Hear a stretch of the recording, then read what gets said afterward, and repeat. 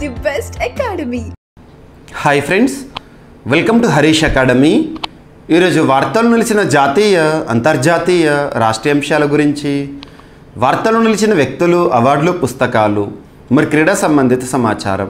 ఒక్కొక్క అంశాన్ని వివరంగా తెలుసుకుందాం. ఈరోజు మన ఫస్ట్ టాపిక్ వచ్చేసి ఇటీవల తరచూ వార్తలు నిలుస్తున్న అంశాలపైన పోటీ పరీక్షలకు ప్రిపేర్ అవుతున్న ప్రతి ఒక్క అభ్యర్థి ప్రత్యేక శ్రద్ధను చూపండి. అలాంటి అంశాల నుండి ఏ పోటీ పరీక్షలోనైనా అయినా కానివ్వండి ఏ స్థాయి పోటీ పరీక్షలోనైనా అయినా కానివ్వండి రెగ్యులర్గా రిపీటెడ్గా క్వశ్చన్స్ అడగడం జరుగుతుంది. అలాంటి అంశాలను గుర్తించండి. అలాంటి అంశాలను గనక పరిశీలిస్తే వార్తలు నిలుస్తున్న ఐఐటీస్ వార్తలు నిలుస్తున్న విన్యాసాలు రక్షణ రంగము వార్తలు నిలుస్తున్న సూచీలు నివేదికలు ప్రపంచ దేశాలకి సంబంధించిన ర్యాంకింగ్స్ వార్తలు నిలుస్తున్న జిఐ ట్యాగ్స్ యునెస్కో సంబంధిత అంశాలు సూపర్లేటివ్స్ ఇలాంటి అంశాలపైన ప్రత్యక్ష శ్రద్ధ చూపండి. ఒక్కొక్క అంశం నుండి minimum two to three questions వచ్చే అవకాశాలు కూడా ఉన్నాయి. సో ఈరోజు అలాంటి ఒక అంశమే ఐఐటీలకి సంబంధించి. సో ఐఐటి రూర్కీ శాస్త్రవేత్తలు ఈరోజు వార్తల్లోకి వచ్చారు. IITs Indian Institute of Technologies భారతదేశంలోనే అత్యుత్తమ అత్యున్నత సాంకేతిక విద్యను అందిస్తున్న ఐఐటీస్ ఏవైతే ఉంటాయో వాటికి సంబంధించి ఇటీవల కాలంలో ఏదైనా ఇన్నోవేషన్ వార్తల్లోకి వస్తే ప్రత్యేక శ్రద్ధను చూపండి. ఈరోజు అలాంటి ఐఐటీల్లో ఒక IIT IIT Roorkee IIT Roorkee శాస్త్రవేత్తలు ఎందుకు వార్తల్లోకి వచ్చారంటే వారి ఇటీవల ఒక నానో డ్రోన్ని కనిపెడుతూ వార్తల్లోకి వచ్చారు. Nano drone drone unmanned air vehicle. చాలా సూక్ష్మతి సూక్ష్మంగా అతి చిన్నగా ఉండే ఒక డ్రోన్ని కనిపెట్టారు. ఐఐటి రూర్కి శాస్త్రవేత్తలు. ఆ డ్రోన్ పేరు ఏంటంటే పరుష్ పేరు గుర్తుంచుకోండి. పరుష్ అనే ఒక నానో డ్రోన్ని సృష్టిస్తూ ఇన్నోవేట్ చేస్తూ వార్తల్లోకి వచ్చిన ఐఐటి ఏదంటే ఐఐటి రూర్కి. మరి ఈ డ్రోన్ ప్రత్యేకత ఏంటి? ఆ డ్రోన్ ప్రత్యేకత ఏంటంటే ఉగ్రవాదులు ఎవరైతే ఉంటారో టెర్రరిస్టులు ఎవరైతే ఉంటారో సరిహద్దు ప్రాంతాల్లో కానివ్వండి భారతదేశంలోకి చొరబడిన ఉగ్రవాదులు ఎవరైతే ఉంటారో వారిని పసిగడుతుంది. వారికి కనబడకుండా సుదీర్ఘ సుదూర ప్రాంతం నుండి వాళ్ళను అబ్జర్వ్ చేస్తుంది. సో ఉగ్రవాదుల కదలికలు రహస్యంగా పసిగడుతుంది. నెక్స్ట్ వారిపైన బాంబులను వేసేసి వాళ్ళను అంతమొందించే అంత అధునాతనమైన పరిజ్ఞానం ఇందులో ఉంది. సో ఉగ్రవాదులను పసిగడుతుంది వెంటనే వాళ్ళపైన బాంబుల వర్షాన్ని కురిపిస్తుంది. ఒకవేళ కౌంటర్ అటాక్ గనక వాళ్ళు చేశారనుకోండి దానికి మరొకసారి కౌంటర్ అటాక్ని చేస్తుంది. కౌంటర్ టెర్రరిజం ఆపరేషన్స్లో కూడా ఇది అధునాతన సేవలు అందిస్తుంది అని చెప్పేసి ఐఐటి రూర్కి శాస్త్రవేత్తలు చెప్తున్నారు. సో దీన్ని క్యామికేజ్ వర్షన్ పరుష డ్రోన్ అని గుర్తుంచుకోండి. ఇటీవల పరుష డ్రోన్ని ఏఐఐటి వారు రూపొందిస్తూ వార్తల్లోకి వచ్చారు. రక్షణ రంగంలో సేవల కోసం ఉద్దేశించబడిన డ్రోన్ అని గుర్తుంచుకోండి. సో పోటీ పరీక్షల్లో ఇలాంటి అంశాలపైన క్వశ్చన్స్ అనేవి అడుగుతున్నారు ముఖ్యంగా ఐఐటీస్ ఐఐటీస్ పైన కూడా హెడ్డింగ్ ఎలా చూడొచ్చు అంటే పరుష డ్రోన్ ఐఐటి రూర్కి ఉద్దేశం సరిపోతుంది. ఈ క్వశ్చన్స్ని మీరు అబ్జర్వ్ చేయండి. అండ్ నెక్స్ట్ సో త్రివిధ దళాలకి సంబంధించిన విన్యాసం ఏది వార్తల్లోకి వచ్చినా కూడా ఆ విన్యాసం పైన ప్రత్యక్షత చూపండి. ఈరోజు ట్రైలాటరల్ ఎక్సర్సైజ్ బైలాటరల్ అంటే రెండు దేశాలు సంయుక్తంగా నిర్వహించేది. ట్రైలాటరల్ అంటే మూడు దేశాలు నిర్వహించే విన్యాసం. మల్టీలాటరల్ అంటే అంతకంటే ఎక్కువ దేశాలు కలిసి సంయుక్తంగా నిర్వహించే విన్యాసం. ఈరోజు త్రివిధ దేశాలకి సంబంధించి మూడు దేశాలకి సంబంధించిన ఒక నావికాదళ విన్యాసము వార్తల్లోకి వచ్చింది. Bharat Australia and Indonesia. Bharat Australia Indonesia. సంయుక్త నావికాదళ విన్యాసాలు. మొట్టమొదటిసారి ఈ మూడు దేశాలు కలిసి ఒక నావికాదళ విన్యాసాన్ని నిర్వహించడం జరిగింది. మొదటిసారి.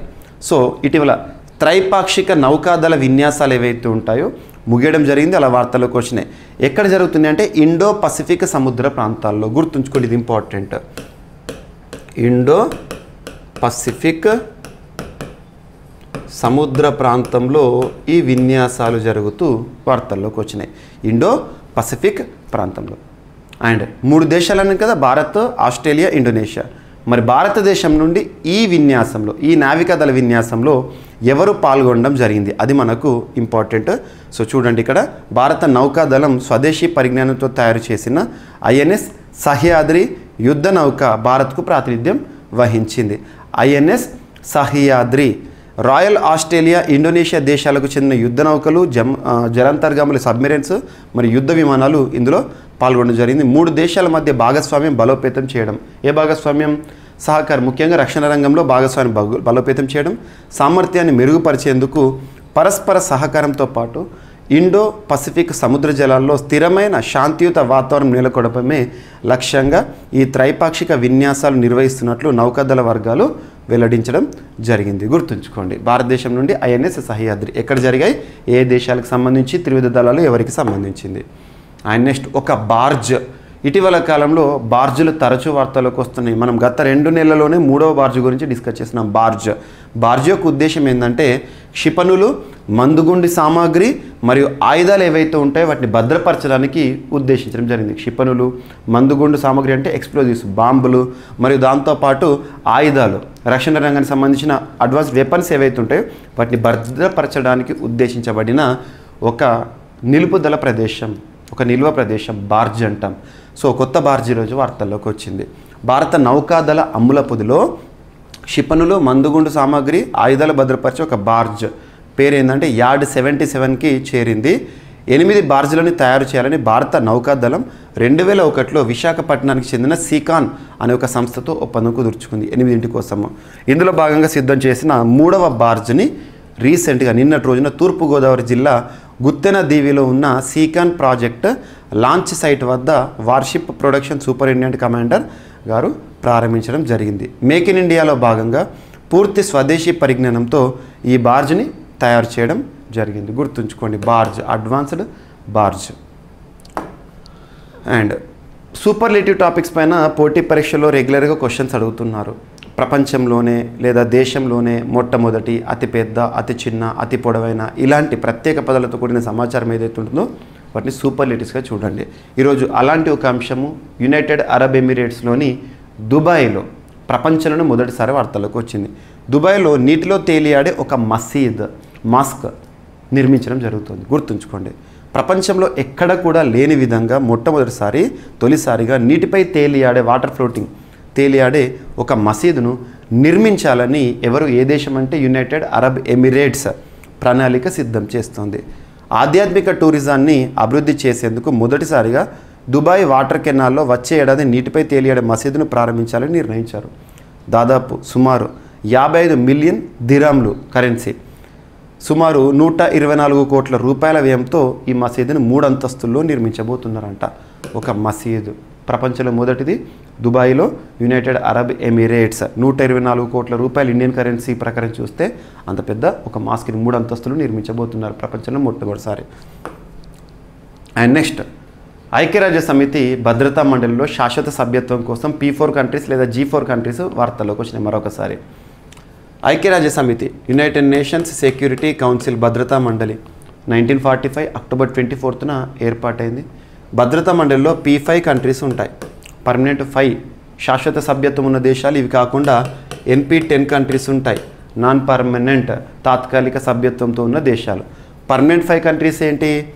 US UK US UK China France Russia గుర్తుంచుకోండి. చైనా ఫ్రాన్స్ రష్యా ఈ ఐదు దేశాలను పీ ఫైవ్ కంట్రీస్ అంటాం. వీటో కంట్రీస్ అంటాం. ఐక్యరాజ్య సమితి భద్రతా మండలిలో శాశ్వత సభ్యత్వం ఉంది. ప్రారంభమైనప్పటి నుండి ఇప్పటికీ ఎప్పటికీ ఉంటాయి. మరి ఈ భద్రతా మండలిలోకి మాకు కూడా సభ్యత్వాన్ని శాశ్వతంగా ఇవ్వాలని చెప్పేసి నాలుగు దేశాల కూటమి ఒకటి ఉంది. ఆ దేశాల కూటమి ముఖ్యంగా భారత్ జపాన్ జర్మనీ బ్రెజిల్ ఈ నాలుగు దేశాలతో కూడిన group of four countries G four countries సుదీర్ఘకాలంగా ప్రయత్నాలు చేస్తూనే అడుగుతున్నారు. దానికి సంబంధించిన ఒక అంశం ఈరోజు వార్తల్లోకి వచ్చింది. ఐక్యరాజ్య సమితి భద్రతా మండలిలో వీటో అధికారం కేవలం ఐదు శాశ్వత సభ్య దేశాలైన అమెరికా రష్యా చైనా బ్రిటన్ ఫ్రాన్స్లకే సొంతం. వీటిని పీ ఫైవ్ దేశాలు అంటారు. మరి మండలిలో తమకు కూడా శాశ్వత సభ్యత్వాన్ని ఇవ్వాలని సుదీర్ఘకాలం నుంచి డిమాండ్ చేస్తున్న భారత్ జపాన్ జర్మనీ బ్రెజిల్లను పీ ఫోర్గా వ్యవహరిస్తున్నారు.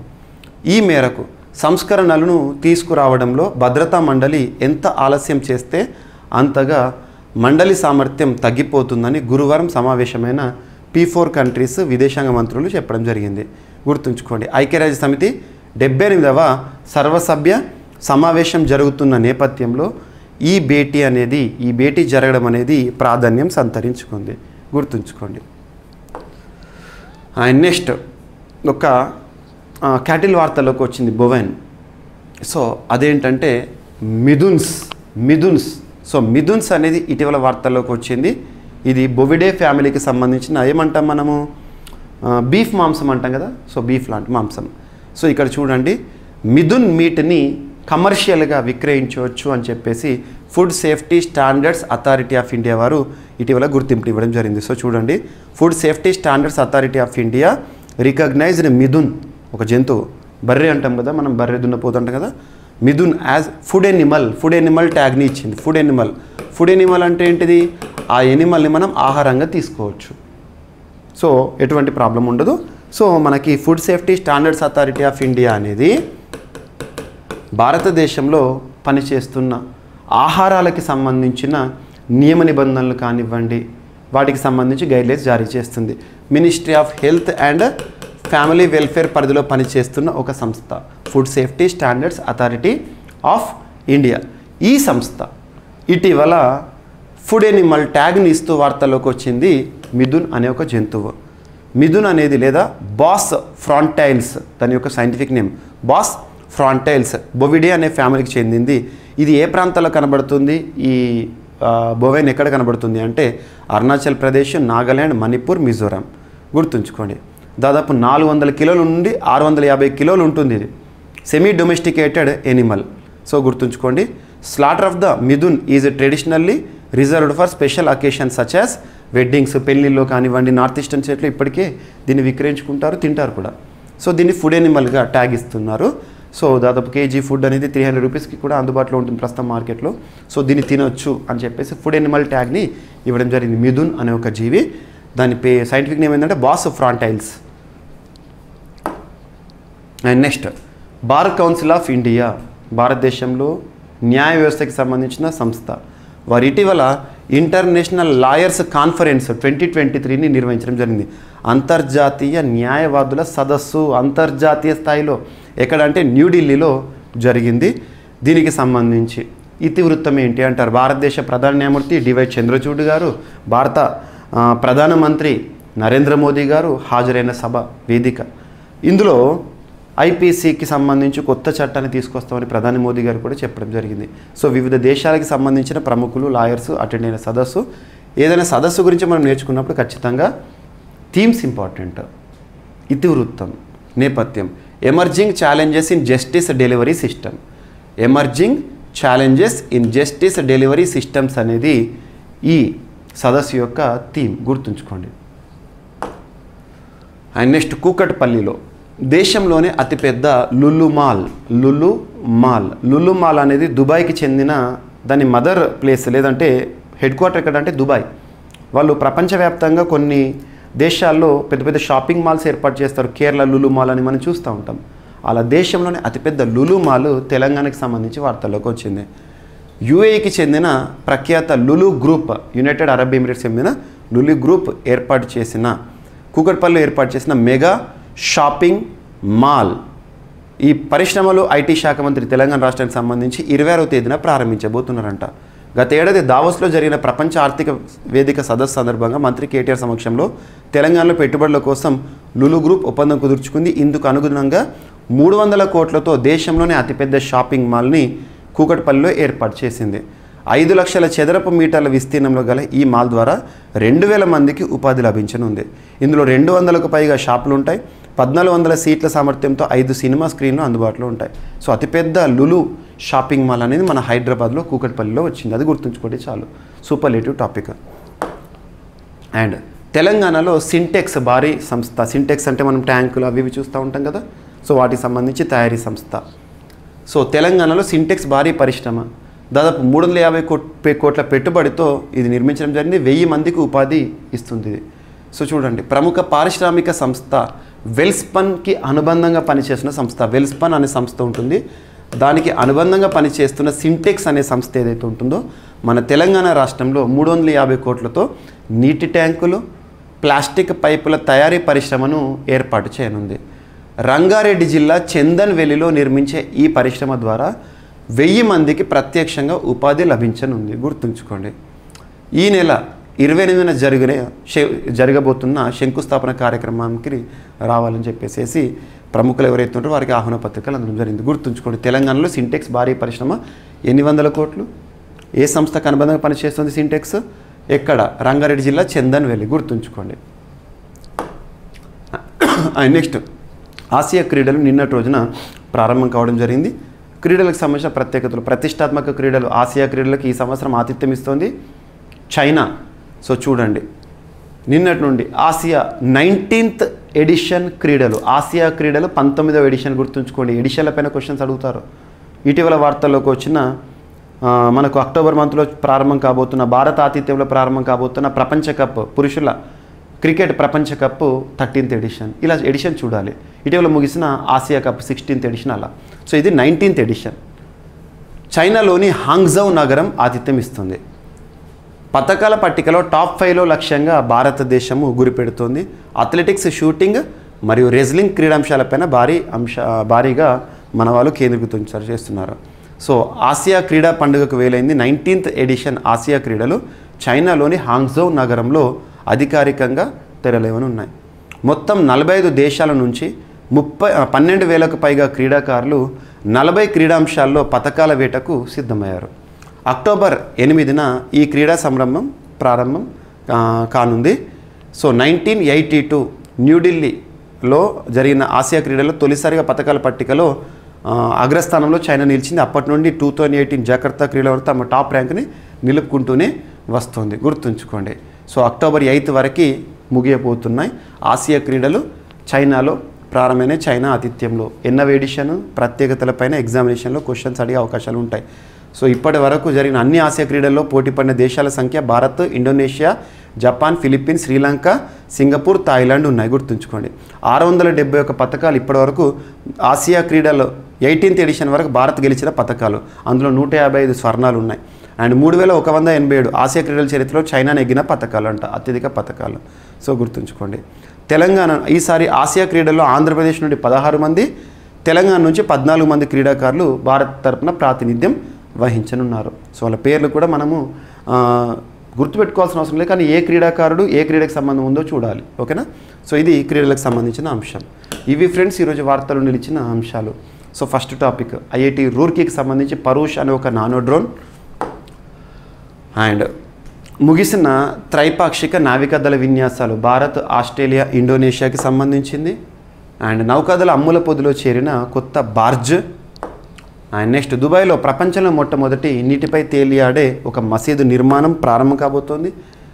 ఐక్యరాజ్య సమితి భద్రతా మండలిలో శాశ్వత సభ్యత్వం కోసం మరొకసారి నాలుగు దేశాలు చేసిన తీర్మానం. అండ్ నెక్స్ట్ మిథున్ అనే ఒక జీవి వార్తల్లోకి వచ్చింది బొవైన్. సో దీనికి ఇటీవల ఫుడ్ ఎనిమల్ ట్యాగ్ని ఇస్తూ food safety standards authority of India వారు తీసుకున్న నిర్ణయం.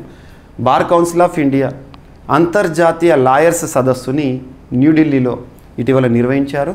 థీమ్ గుర్తుంచుకోండి. అండ్ కూకట్పల్లిలో హైదరాబాద్లో తెలంగాణ రాష్ట్రంలో దేశంలోనే అతిపెద్ద లులు మాల్. అండ్ నెక్స్ట్ తెలంగాణలో సింటెక్స్ భారీ పరిశ్రమ ఏర్పాటవుతోంది. మ్యానుఫ్యాక్చరింగ్ సంస్థ రంగారెడ్డి జిల్లా చందన్వెల్లిలో. అండ్ ఆసియా క్రీడలు నిన్నటి నుండి చైనాలోని హాంగ్జోలో ప్రారంభం అయినాయి. సో ఇవి ఫ్రెండ్స్ ఈరోజు వార్తలు నిలిచిన అంశాలు. మిస్లేని అంశాలు ఏమైనా మిగిలిపోతే రేపటి క్లాస్లో జోడించి మరొకసారి నేర్చుకుందాం. రేపు కలుద్దాం. Thank you.